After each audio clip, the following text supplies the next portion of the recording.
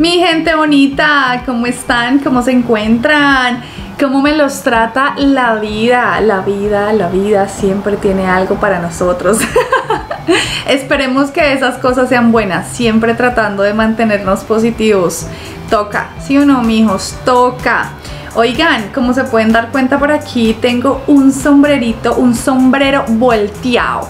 Es un sombrero típico colombiano eh, que tiene un material y un tejido súper especial.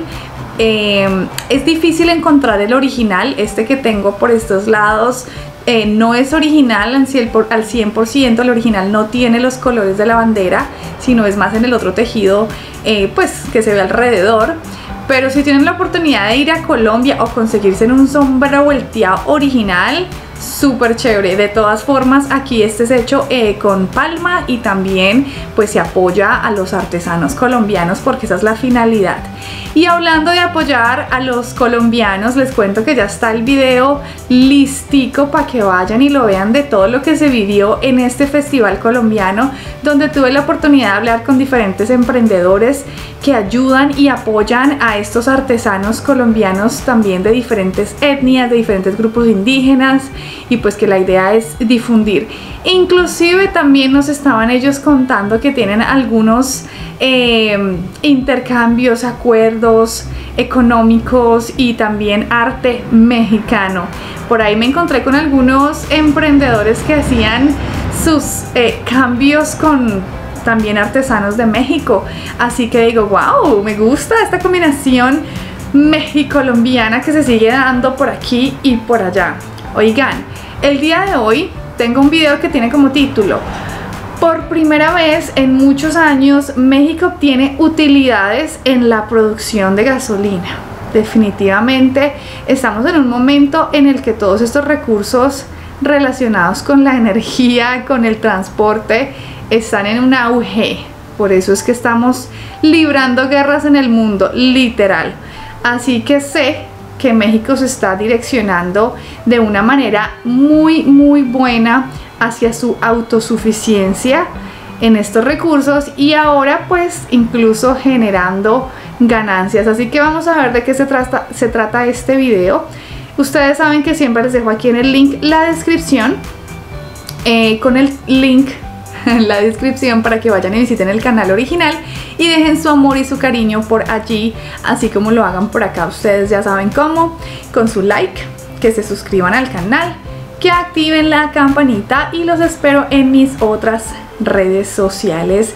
Sin más, a lo que vinimos, vamos, hagámosle a lo que te truje chencha.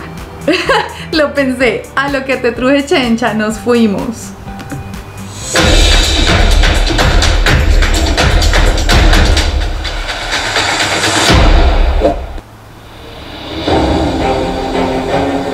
Utilidades en la producción de gasolina.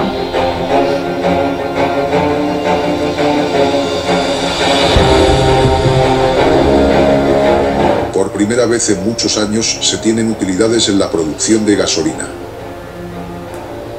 El presidente de México, Andrés Manuel López Obrador, en conferencia de prensa, dijo que se está produciendo más gasolinas que antes y que por primera vez en muchos años se tienen utilidades en la producción de gasolina, y eso está ayudando a compensar el subsidio. Pero lo que ayuda más es que ya llevan tres meses con un precio de petróleo crudo de exportación, la mezcla de petróleo que se vende al extranjero por encima de 90 dólares el barril, detalló el mandatario.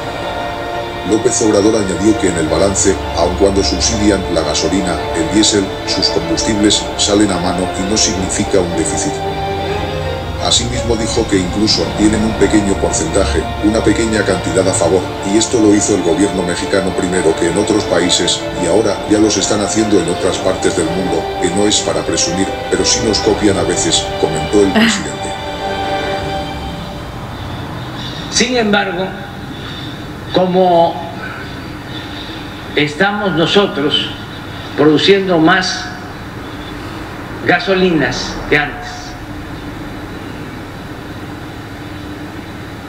Por primera vez en muchos años se tienen utilidades en la producción de gasolina. Esto ayuda a compensar ese subsidio. Pero lo que ayuda más es que ya llevamos tres meses con un precio de petróleo crudo de exportación, la mezcla de petróleo que se vende al extranjero, por encima de 90 dólares el barril.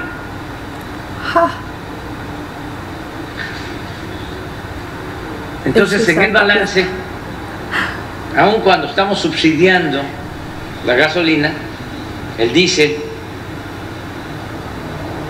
los combustibles, salimos a mano. No nos significa un déficit. Incluso tenemos un pequeño porcentaje, una pequeña cantidad a favor. Esto lo hicimos nosotros primero que en otros países. Ahora ya lo están, lo están haciendo en otras partes. No es para presumir, pero sí nos copian ¿eh? a veces. Lo segundo es lo de los alimentos. Ahí es donde tenemos más problemas. Porque si bien en Estados Unidos lo que les impacta más en inflación son los energéticos, a nosotros nos impactan más los alimentos,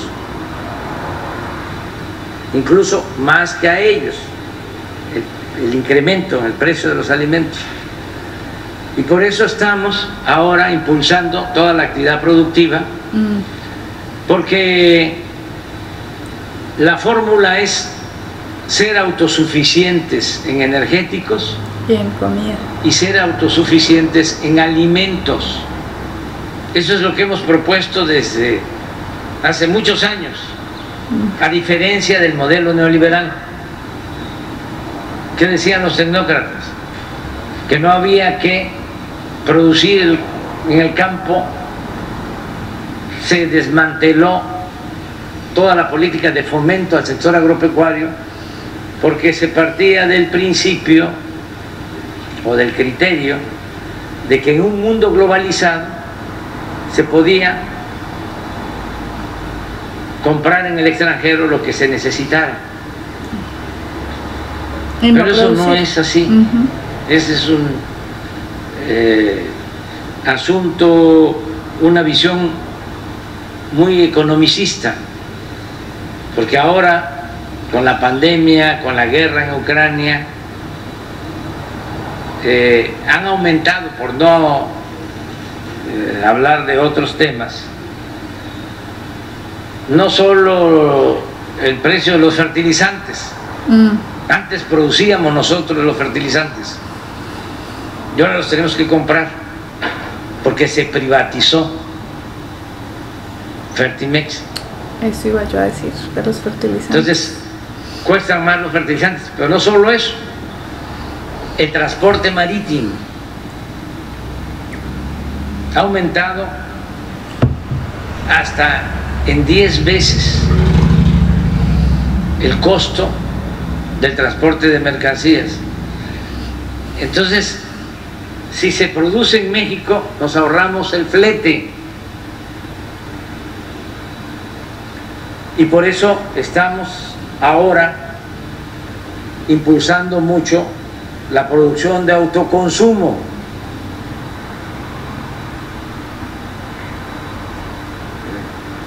Esto es que se produzca maíz, frijol y estamos fortaleciendo nuestras plantas de producción de fertilizantes.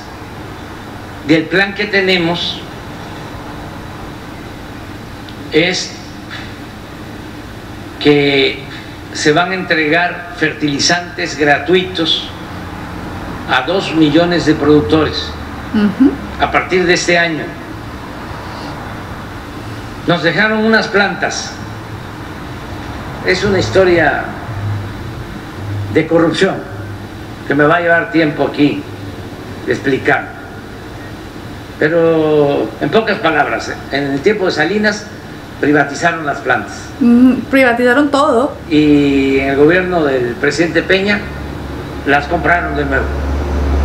O sea, son privatizadores y son estatistas.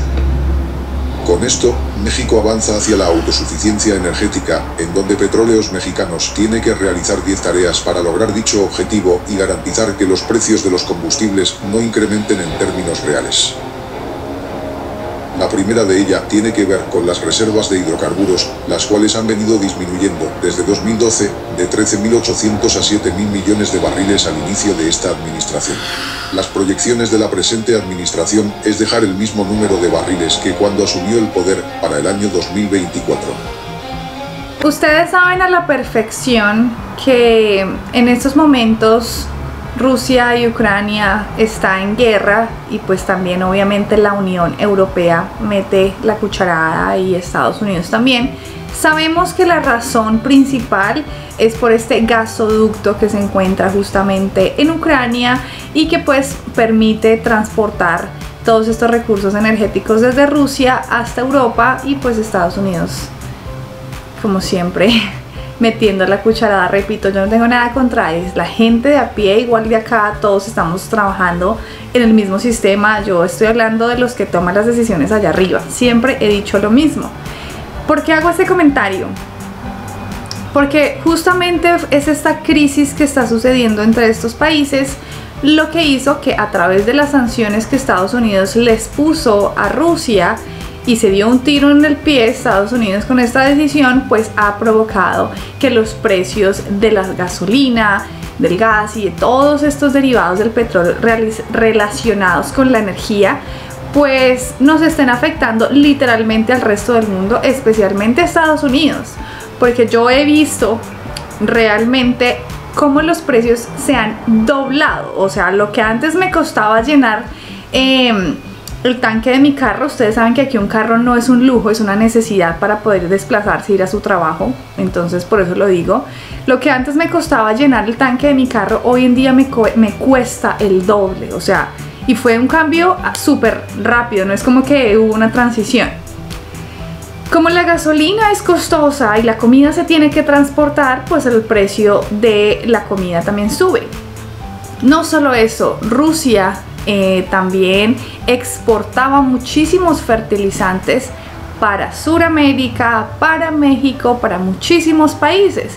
Y como se les han hecho todas estas sanciones, pues Rusia ya no está pudiendo exportar de la misma manera. Siguen haciendo negociaciones de su gasolina, de su gas hacia la India, y hacia Asia, ¿no? China y todos estos países por allí que obviamente sí siguieron consumiendo, e igual México porque el presidente AMLO dijo, cada pueblo soberano, yo no me voy a meter ahí hacia ningún lado, ¿no? Entonces, ¿qué pasa? Todo sube de precios. Por eso en estos momentos estamos en la crisis que estamos. Por eso en Colombia también están en la crisis que están en la alimentación también.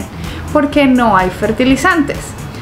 Sin embargo, el otro día tuve la oportunidad de ver un video en el que se muestra cómo el presidente AMLO le está obsequiando, les está regalando el 100% de lo que cuestan estos fertilizantes, es decir, les está dando los fertilizantes sin pedir nada a cambio a muchísimos campesinos, especialmente de Oaxaca, de Chiapas, de Guerrero. ¿Para qué? Para que pues puedan producir comida y la gente pues tenga con qué subsistir al igual de que seguir pues ayudando y apoyando el campo en general. El presidente estaba explicando cómo en el gobierno de Salinas se privatizaron las compañías o las empresas productoras de estos fertilizantes. No solo esas empresas, sino muchísimas y muchísimas cosas se privatizaron en el gobierno de Salinas. Y digo, wow, este hombre de verdad que supo cómo hacerla. Y no solo él, la maquinaria que se montó para hacerlo y cómo los gobiernos los que siguieron después de él continuaban con toda esta maquinaria, ¿no? Eh, impresionante. Pero bueno, eso lo único que hizo fue llevar a México a una crisis brutal de la cual pues están saliendo lentamente y eso es lo que la gente no entiende. La gente no entiende y no ve todo lo que los gobiernos anteriores hicieron, robaron y saquearon al país y pretenden que un nuevo presidente que sí tiene buenas intenciones de hacer las cosas solucione todo el miércolero que los demás hicieron por 40 años. O sea, entiendan que eso no, no se soluciona así de rápido, o sea, es un proceso, pero se están viendo las cosas.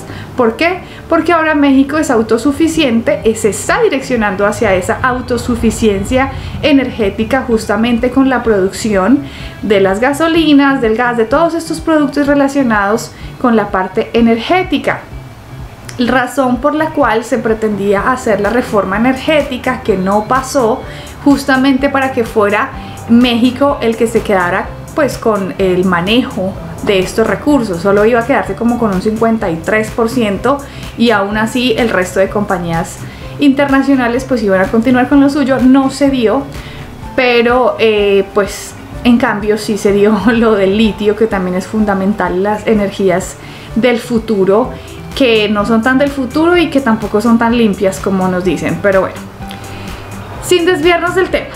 Aquí la cuestión es que definitivamente el presidente AMLO tomó las decisiones correctas al restaurar las seis refinerías que restauró y al comprar la otra refinería acá en Texas y al igual que abrir la otra que tienen en estos momentos en dos bocas en Tabasco.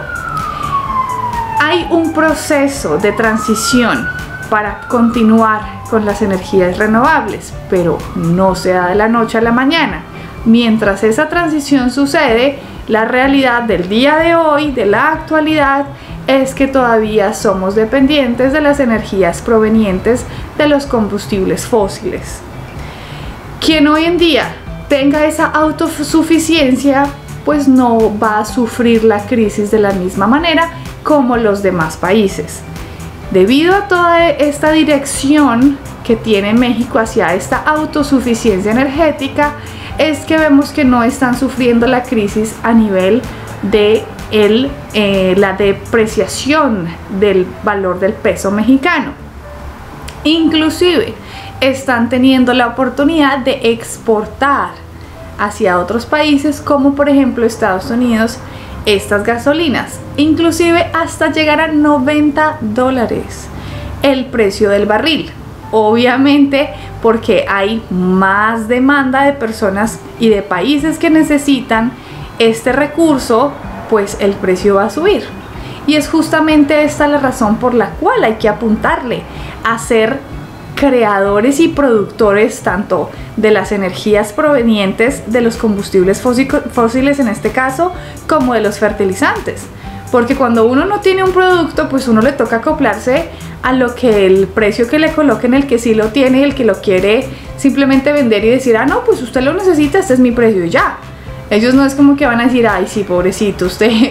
No, por eso el presidente dice, hay que apuntarle a ser autosuficientes en la producción de los fertilizantes y en la producción de las gasolinas, el diésel, todos los derivados, el gas, todo lo que está relacionado con esta parte energética. Y hoy lo podemos ver, la gente se desplaza desde Estados Unidos a México, pasan la frontera a cargar sus carros para obtener gasolina más económica y además de eso muchos de ellos por la crisis que se está llevando a cabo en este país de la inflación deciden irse a México por unas temporadas para vivir allí porque es mucho más económico, ¿no?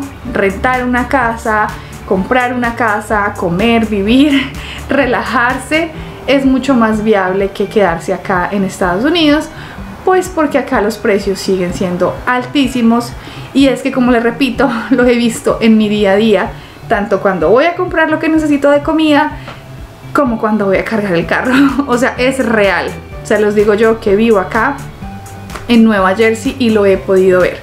Así que bueno, México se está direccionando hacia donde tiene que ser. Entiendan que es un proceso de transición, las energías verdes que no son tan verdes porque el planeta sufre y que son renovables, pero que es un proceso. Mientras tanto, están haciendo lo que tienen que hacer y lo están haciendo muy bien. Ya se están viendo estas ganancias obtenidas debido al pensamiento que el presidente AMLO tuvo de decir, bueno, aquí necesitamos apuntarle a la autosuficiencia energética. Así que espero que les haya gustado esta información y este video. Si ustedes quieren apoyarme, es muy fácil. Lo único que tienen que hacer es dejar su like, suscribirse a mi canal y activar la campanita. Recuerden que los espero en mis otras redes sociales, TikTok, Instagram y Facebook. Los espero también para que no se pierdan la oportunidad de ver el video del Festival Colombiano en conmemoración a la independencia de Colombia que fue el 20 de julio. 212 años liberados de la corona española, sin embargo seguimos en la lucha. Así que ha llegado la hora de decir mi frase favorita, ustedes ya la conocen. Mi corazón es mexicano, mi sangre colombiana. Nos vemos en un próximo video. Chaito, chaito.